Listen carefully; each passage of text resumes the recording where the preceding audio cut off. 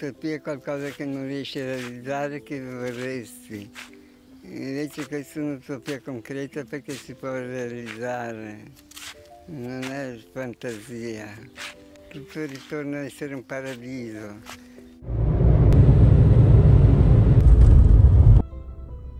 Ora arrivato qui ad Avalon, il popolo degli elfi. Solo che non so dove devo andare. Buongiorno. Ah, buongiorno, scusa una domanda, io sto cercando il popolo degli elfi, Avalon. Eh, devi andare più avanti. Allora, mi è stato detto che la strada è questa, da camminare 5-10 minuti e poi si aprirà dinanzi a noi il magico mondo degli elfi.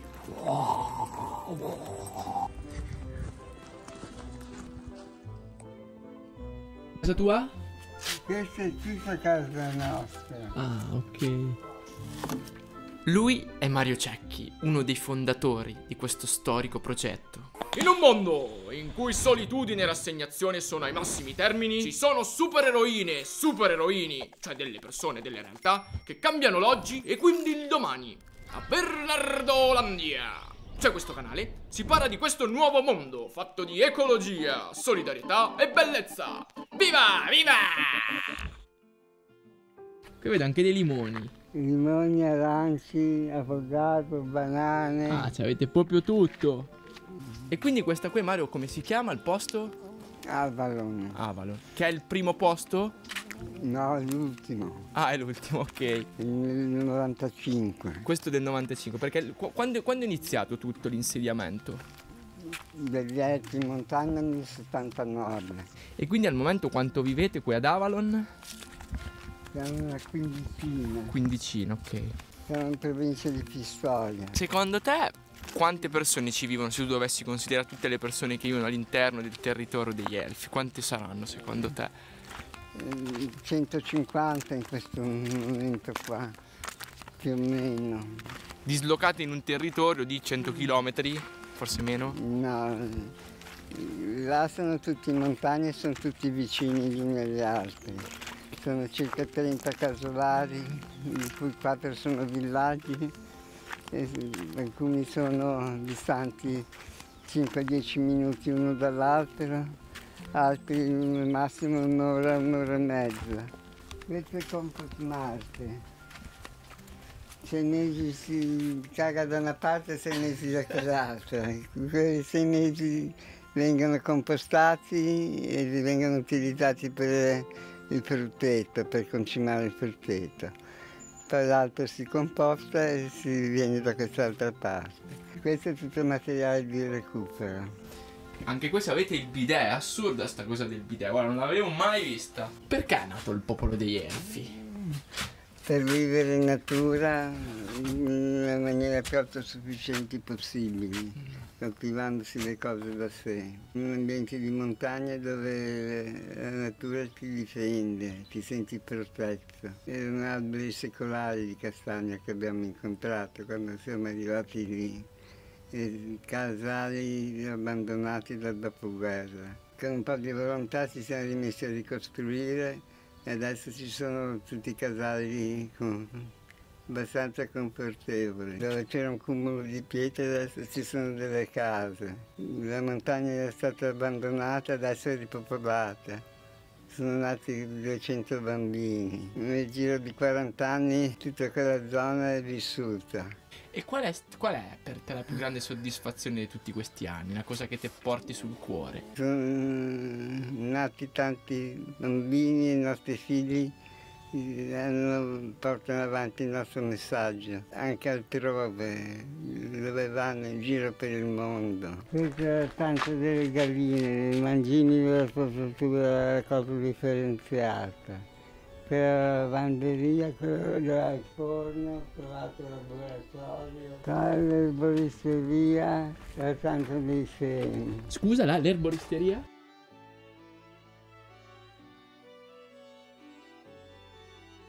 La mia storia è che Da bambino vivevo in campagna dai miei nonni, mi sentivo libero e felice. E poi quando andavo in città ero chiuso tra quattro mura, a scuola, mi sentivo oppresso, non riuscivo a esprimermi. Mi venivano malattie psicosomatiche di ogni genere. E quando tornavo in campagna stavo di nuovo bene. Lì ho capito che la mia storia era la natura, vivere semplicemente, come viveva mio nonno.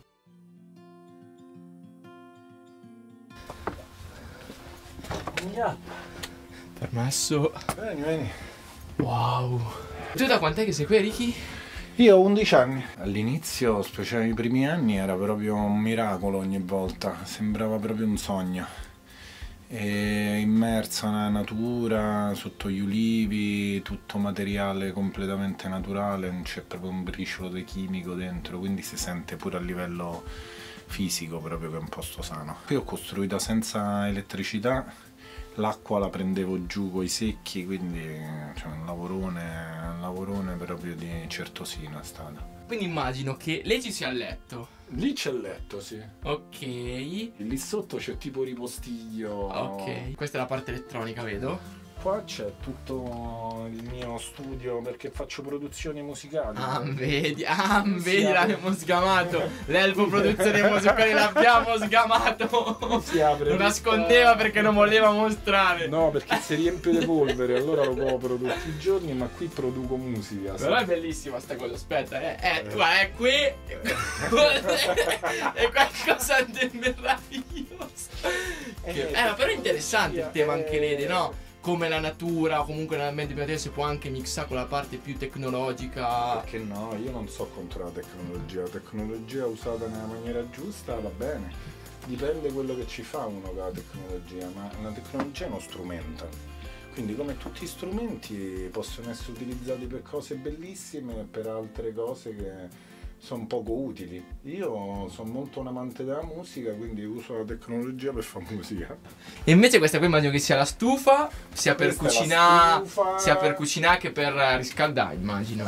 Eh, diciamo più per riscaldare perché- che per cucinare, perché Ok. più o meno faccio colazione qua, ma difficilmente mi, Ok. cucino, mi cucino da solo. Noi mangiamo sempre insieme. No, colazione no, però pranzo e cena sempre insieme. E invece queste bottiglie qui che significato hanno? Ah, questi sono dei vetri che faceva mio fratello, faceva vetrofusione, quindi mi ha regalato dei vetri.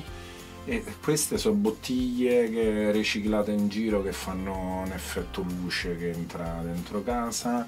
Ce ne sono altre, vedi, tipo questa qui. Ah, quella più particolare. Qui particolari che mi ha dato mio fratello, quindi sono anche dei piccoli. Cioè, qui sta casa è tutta piena di oggetti. E ogni oggetto ha un Un suo valore, e un, eh, certo. suo, un suo perché, quindi è un, um, un ammasso di ricordi e cose che stanno lì perché hanno un perché. Ci- Saranno 15, 30 metri eh, quadri, 30. sono 6, 6x4, 25, Eh, eh. 25 metri quadri più il soppalco, è piccolissimo, sì. Tutto materiali naturali, terre... Solo materiale naturale ci ho speso 200 euro. Spesa 200 euro, ho comprato questo pezzettino di tavole qui, poi sopra c'è il, il telo del tetto che l'ho comprato usato e il resto basta. Ed è fatto tutto da solo nella tua costruzione o comunque con amici? Da solo, da sempre molto da solo, mm, in autocostruzione, sì, io ho studiato bioarchitettura, quindi ho insegnato costruzione in terra cruda per tanti anni e Quindi quindi, era la storia mia. Cioè non c'è... senza bollette alla fine.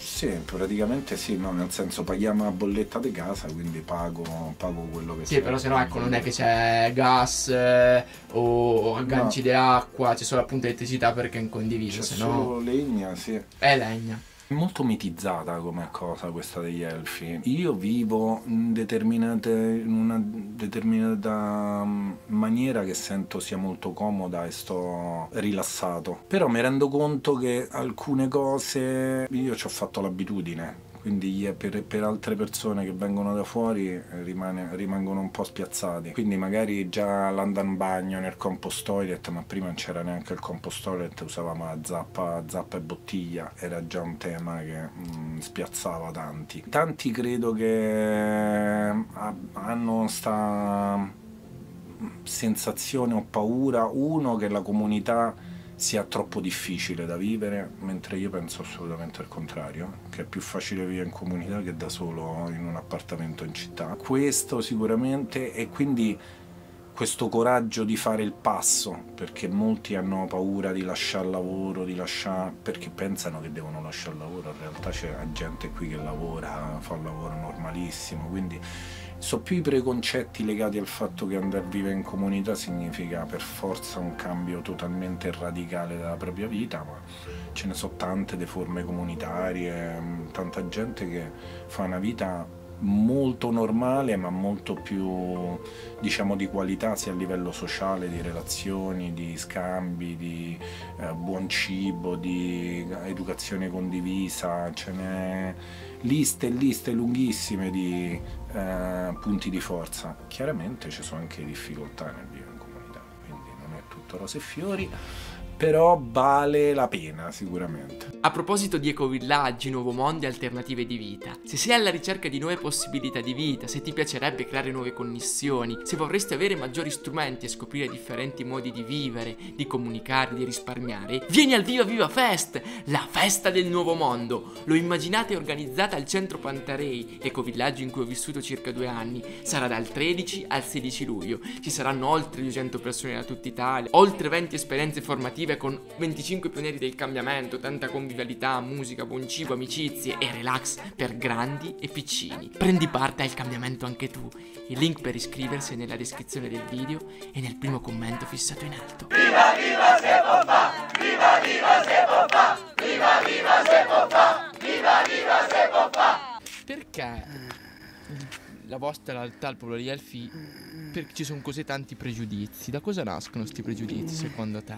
Perché eh, era il territorio che i cacciatori facevano loro comodo. Hanno vissuto noi come che ostacolassimo l'attività della caccia. Poi perché eravamo diversi, vestiti tutti sgargianti, colorati. I nostri bambini all'inizio a scuola erano discriminati perché mangiavano i ciappati a scuola non erano puliti come gli altri bimbi. Adesso è un privilegio essere figli degli altri.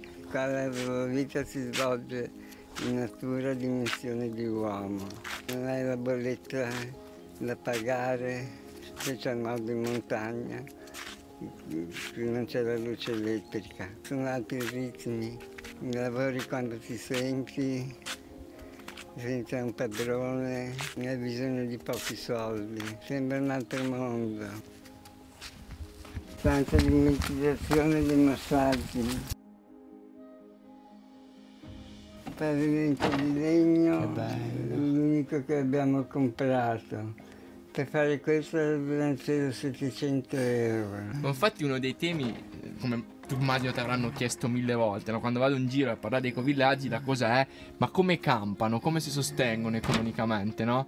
Che in parte sussistiamo con la comunità, qua vendendo quel poco d'olio che abbiamo in eccedenza, in parte andando a lavorare fuori con lavori stagionali, in parte c'è chi si aggrega e fa la pizzeria e va in giro per i festival e porta un'entrata per la cassa comune. Esiste una cassa comune individuale e una cassa comune del villaggio.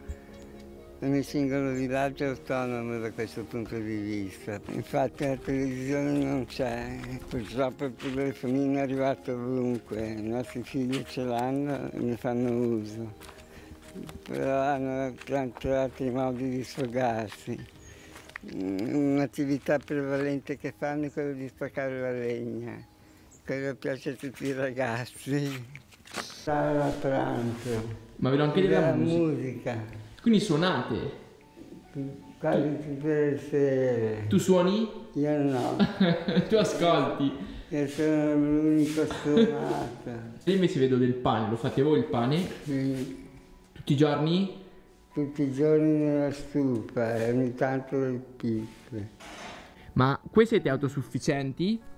No, dobbiamo comprare tutti i cereali perché non produciamo, legumi, un po' lenticchie e ceci e poi il riso, il grano, facciamo soltanto olive e orticoltura. E invece qui leggevo le, le regole, no? Non so regole ma so accordi, che è una cosa molto differente, nel senso che è, beh, è stato concordato tra noi che quelli sono diciamo, il buon vivere insieme. E diciamo che parte di quella roba lì è colpa mia, perché mm, diciamo che da qualche anno che sto cercando in qualche maniera di portare un po' di struttura in qualcosa che era molto spontaneistico e quindi c'è questo diciamo questo equilibrio che cerchiamo ogni volta di trovare sull'essere strutturati, essere un po' più organizzati e lasciare la bellezza anche dello spontaneismo.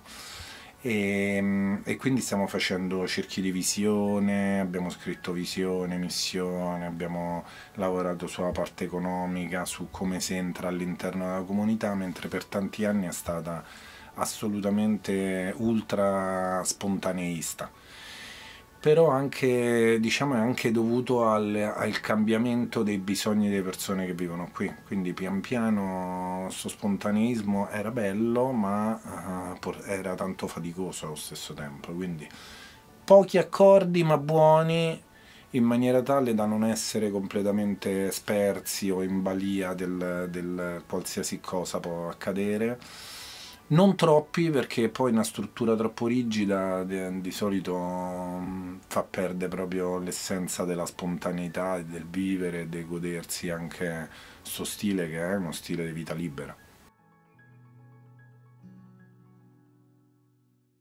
Apro la finestra e guardo il mio umore, se la giornata è bella sono felice, se è brutta e piove sono un po' più malinconico. Però siamo osmosi è piacevole e bello. Apro la finestra per far entrare l'aria pura, l'estate sempre aperta.